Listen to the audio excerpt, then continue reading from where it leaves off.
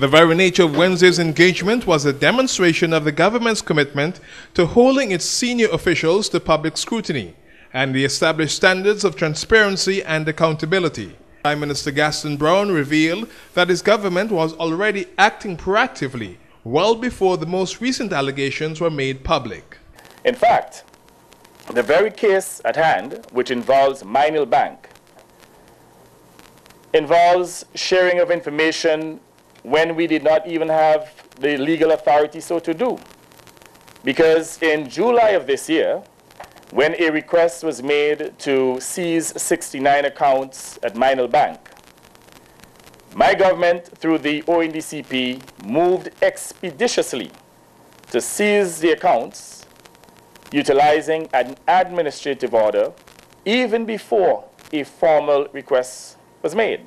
Browne is also standing firmly behind the leadership in the ONDCP, uh, the lead agency on matters of cooperation and solving global financial crimes such as money laundering. And again, I think Antigua and Barbuda is very lucky to have certain public officials, including Colonel Croft, and at the FSRC, Dr. Ash, individuals who will never compromise on the integrity I believe that the ONDCP will be issuing a statement today to confirm that no one in my government, including myself, ever made any attempt whatsoever to the ONDCP, to no level staff, high level or low level, to conceal or to frustrate the flow of information.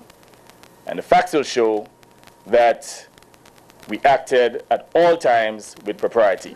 But not leaving anything to chance, Prime Minister Browne has acted preemptively.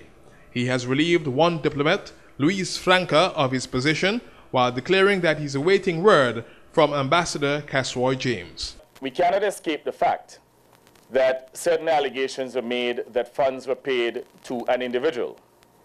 And that is a matter of some concern for my government.